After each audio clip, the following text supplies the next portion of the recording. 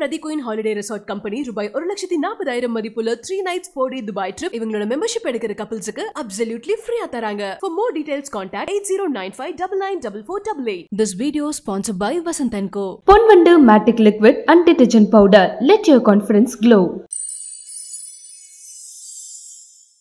ॐ श्रीकान्तद्रुहिणोपमन्युतपनस्कन्धेन्द्रनन्द्यातयः ప్రాచీనో గురవోపి ఎస్య కరుణాలేశాద్గతా గౌరవం తం సర్వాదిగురుం మనోజ్ఞవపుషం మందస్మితాలంకృతం చిన్ముద్రాంకితముద్రపాణినళినం చిత్తే శివం కుర్మహే నమస్సరసే నమస్సరసస్పతయే నమస్సకీనాం పురోకానాం చక్షుషే నమోదివే నమ పృథివ్యే నమ எல்லாம் வல்ல இறைவனுடைய பெருங்கருணையினாலே கலாட்டா டிவைன் நேயர்கள் அனைவர்களுக்கும் என்னுடைய நமஸ்காரத்தை தெரிவித்துக் கொள்கிறேன். சிவராத்திரி மகா சிவராத்திரி. இந்த சிவராத்திரின்னு சொன்ன உடனே நமக்கெல்லாம் என்ன ஞாபகம் வரும்? இப்போ கிருத்திகை அப்படின்னு சொன்னால் எல்லோரும் முருகனை கும்பிடணும் அப்படின்னு நினச்சிக்கிறோம் அதே மாதிரி சங்கடகர சதுர்த்தி அப்படின்னு சொன்னால் எல்லோரும் கணபதியை கும்பிடணும் அப்படின்னு நினைக்கிறோம். அதே மாதிரி இந்த சிவன் ராத்திரி அப்படின்னு சொன்னால் எந்த சாமியை கும்பிடுறாங்க? இது என்ன அதிசயமாக இருக்குது சார்? சிவன்ராத்திரி சிவனை தானே கும்பிடுவாங்க. அப்படி தானே எல்லோரும் நினைக்கிறோம். சிவராத்திரி சிவனை கும்பிடுவாங்க அப்படின்னு நினைக்கிறோம். ஆனால் இந்த சிவராத்திரி தோன்றிய வேர் இந்த எந்த சேத்திரத்தில் இந்த சிவராத்திரியினுடைய திருவிளையாடலை இறைவன் நிகழ்த்தினான் அப்படின்னா உங்களுக்கு தெரியாதது அப்படின்னு ஒரு பெரிய ரகசியம். என்னன்னு கேட்குறீங்களா திருவண்ணாமலையில் தான் அந்த அற்புதம் நிகழ்ந்தது. இந்த சிவராத்திரி அன்னைக்கு நாம் கும்பிட வேண்டிய சுவாமி என்ன அப்படின்னா லிங்கோத்பவர்னு பேர். இதை ஆகமங்கள் என்ன சொல்லுது அப்படின்னு சொன்னால் சிவராத்திரி நீங்கள் சொல்கிறத லிங்கோத்பவ காலம் அப்படின்னு ஆகமங்கள் சொல்கிறது லிங்க உத்பவ காலம். இந்த லிங்கோத்பவர் அப்படிங்கிற சொல் எந்த தெய்வத்தை நேரடியாக சென்றடைகிறது?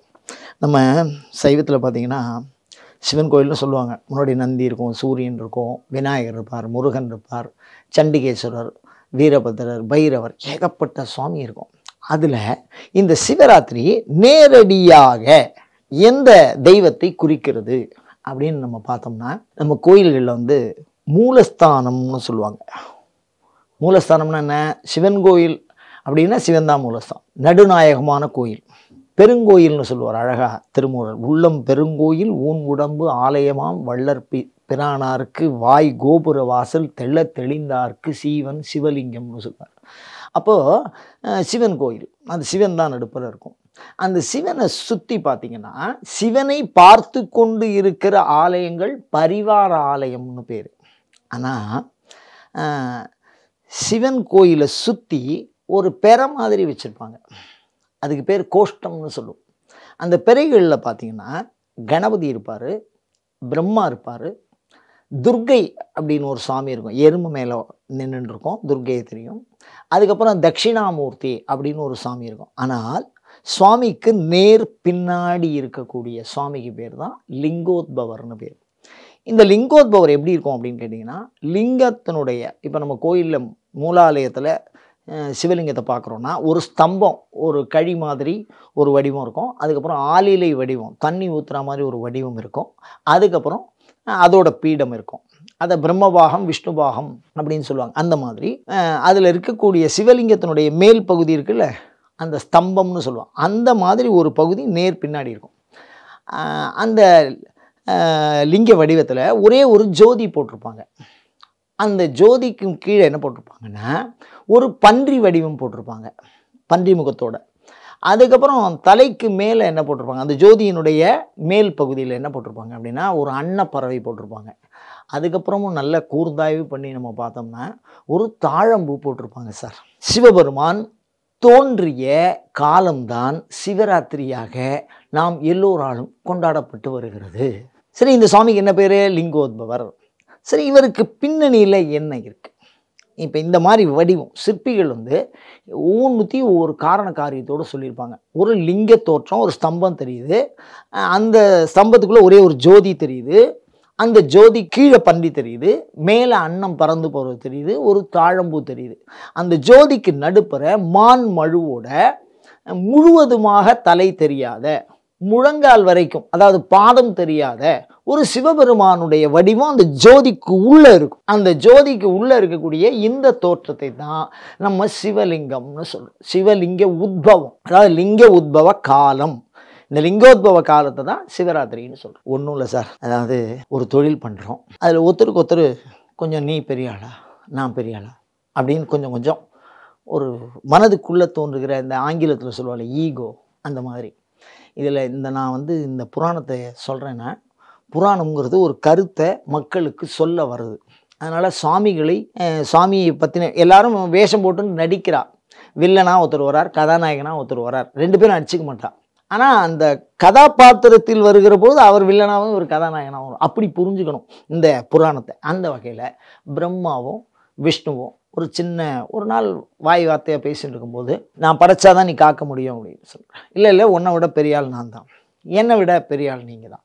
அப்படின்னு ஒருத்தருக்கு ஒருத்தர் சண்டை வந்து அந்த சண்டை வந்து பார்த்தீங்கன்னா பெரிய நீண்டுண்டே போயிடுச்சு. பெரிய அதிகாரி சண்டை போட்டால் கீழே இருக்கிறவெல்லாம் என்ன ஆகும்? கீழே இருக்கிறவங்க பாடலாம் ரொம்ப கஷ்டமாக இருக்கும். மிகப்பெரிய அதிகாரிகள் ரெண்டு பேர் பிரம்மா படைக்கும் கடவுள் விஷ்ணு காக்கும் கடவுள்.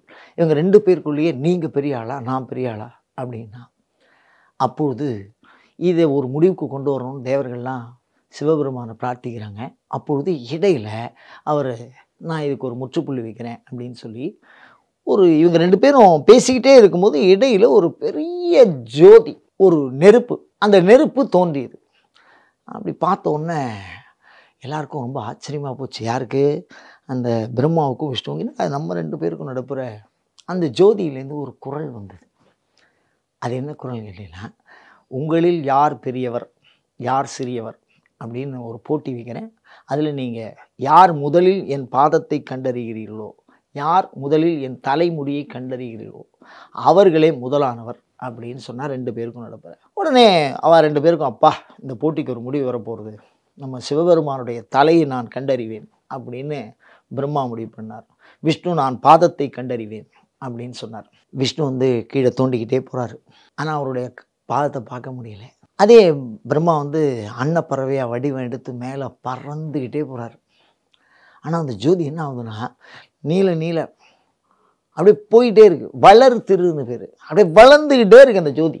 இப்போ என்ன ஆகும்? ஒரு காலகட்டத்தில் விஷ்ணு வந்து இது கண்டுபிடிக்க முடியாது. ஏதோ இது ஒரு பரபிரமம் நம்ம கூட விளையாடுறதுன்னு மனசை தியானம் பண்ணி என்னை மன்னிச்சிருங்கோ நான் வந்து நீங்கள் யாருன்னு எனக்கு அறிவிங்கோ அப்படின்னு சரணாகதி வரார் ஆனால் பிரம்மா வந்து அந்த ஒரு பண்பு இன்னும் கொஞ்சம் நம்ம முயற்சி பண்ணுவோம் அப்படின்னு மேல் நோக்கி போகிறார் அப்போ வந்து திடீர்னு ஒரு தாழம்பூ எதிர்த்த மாதிரி வருது. இந்த தாழம்பூ வந்து பேசக்கூடிய பண்புடையது. இது வந்து இறைவனில் பிரம்மாவில் படைக்கக்கூடியவன்ல அதனால் அந்த தாழம்பூவை பார்த்து எங்கேருந்து வர அப்படின்னா நான் தலைமுடியிலேருந்து வரேன் அப்படின்னு. அந்த முடின்னு ஒரு இடம் இருக்கா இல்லையான்னு எனக்கு தெரியல. சிவபெருமானுடைய ஜடை முடியிலிருந்து நான் வந்து கொண்டு இருக்கிறேன் நான் நடுப்பில் இருந்தேனா மேலே இருந்தனா கீழே இருந்தனான்னு தெரில எங்கே போயின்னு இருக்கேன்னா அப்படியே அவர் வந்து ஒரு அசைப்பில் நான் அவருடைய புடியை விட்டதுனால கீழ் நோக்கி விழுந்துட்டுருக்கேன்னா எவ்வளவு காலமாக வந்திருக்கேன்னா எத்தனையோ பிரம்மா எத்தனையோ விஷ்ணுவை பார்த்துட்டுருக்கேன் இன்னும் நான் விழுந்துன்னு தான் இருக்கேன் கீழே அப்படின்றது அந்த தாழம்பு தாழம்பூ. நம்ம வந்து சிவபெருமானுடைய அருளை அடையவில்லை என்றாலும் இந்த விஷ்ணுக்கிட்ட நம்ம தோத்துறக்கூடாது ஒரு சின்ன ஒரு விஷயம் நம்ம தான் பெரிய ஆளுன்னு காமிச்சிடணும் அப்படிங்கிற ஒரு முடிவில் வந்து அந்த தாழம்புக்கிட்ட கேட்குறாரு நீ எனக்காக ஒரு பொய் சொல்லு. பொய் கூட வேண்டாம் நீ உள்ளதை சொல்லு. நான் முடியிலேருந்து விழுந்துட்டுருக்கேன். அந்த தாழம்பு என்ன சொல்கிறது ஓரறிவு பிராணி தான் அது. நத்தையும் ஊரலும் ஈரறிவினதே. தொல்காப்பியர் மிக அழகாக பேசுவார். அதனால் ஓரறிவு பிராணி தானே. அதனால் அவர் சரி அப்படின்னு சொன்னான். அப்படி சொன்ன உடனே ரெண்டு பேரும் அதாவது பிரம்மாவும் தாழம்பும் இப்போ ஒரு முடிவுக்கு வந்துட்டாங்க. பிரம்மாவும் ஒரு முடிவுக்கு வந்துட்டார். இனிமேல் மேலே போய் நம்ம கண்டுபிடிக்க முடியாது. நான் பார்த்துட்டு வந்தேங்கிறதுக்கு ஒரே சாட்சி அழிச்சுன்னு போய் நான் தலையை பார்த்தேன். இது வந்து இதுதான் சாட்சி அப்படின்னு சொல்கிறதுக்காக அவர் மேல் நோக்கி கீழே வந்தார். இவர் சரணாகதி அடைஞ்சு என்னால் உன்னுடைய திருவடியை பார்க்க முடியல அப்படின்னு எந்த இடத்துல சண்டை ஆரம்பிச்சதோ அந்த இடத்துல விஷ்ணு வந்துட்டார். பிரம்மா வந்துட்டார். இப்போ அந்த தலையிலேருந்து வந்த தாழம்பூ வந்தது. இப்போ பிரம்மா சொன்ன சொல்கிறார் நான் தலையிலேருந்து விழுந்ததே இவர் தான் பார்த்தாரு அப்படின்னு சொன்னோன்னே வெற்றி வந்து பிரம்மாவுக்கு போட்டோம் அப்படின்னு நினச்சார். ஆனால் இறைவன் இதை கண்டு கொண்டே இருக்கிறான். இந்த தாழம்பூ பொய் சொல்லிடுது. அதனால் இனிமே நீ இந்த பூஜைக்கு பயன்பட மாட்டாய் அப்படின்னு சொல்லி தாழம்பூவை தள்ளி வச்சார். ஏன்னா பொய் சொல்லக்கூடாது பொய் வந்த நெஞ்சில் புகழறியாமட பூங்குயிலே அப்படின்னு மிக அழகாக பேசுவார் அபிராமி பட்டர் ஆன்மீகத்துக்கு ஆகாது பொய். பொய் வந்தால் எதையுமே புரிஞ்சுக்க முடியாது. அந்த தாழம்பு பொய் சொன்னதுனால அது விலகி போயிற்று. அதே பிரம்மா பொய் சொன்னதுனால அவருக்கு கோயில் இல்லாமல் போயிற்று.